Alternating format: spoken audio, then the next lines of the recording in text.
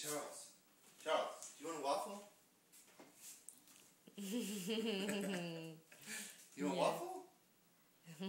hey, Charlie, what's a cow say? Moo. What's the chicken say?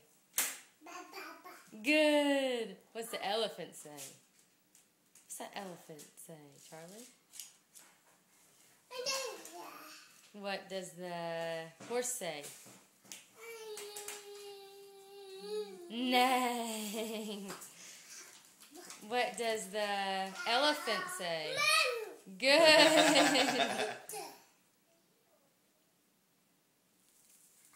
Look, you want some of this? there. Blow, blow on it, Charles. Bless you, bless you. Blow on it. Only two sneezes.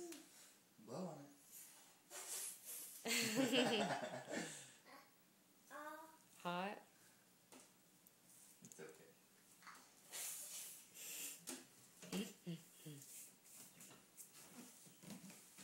We love you.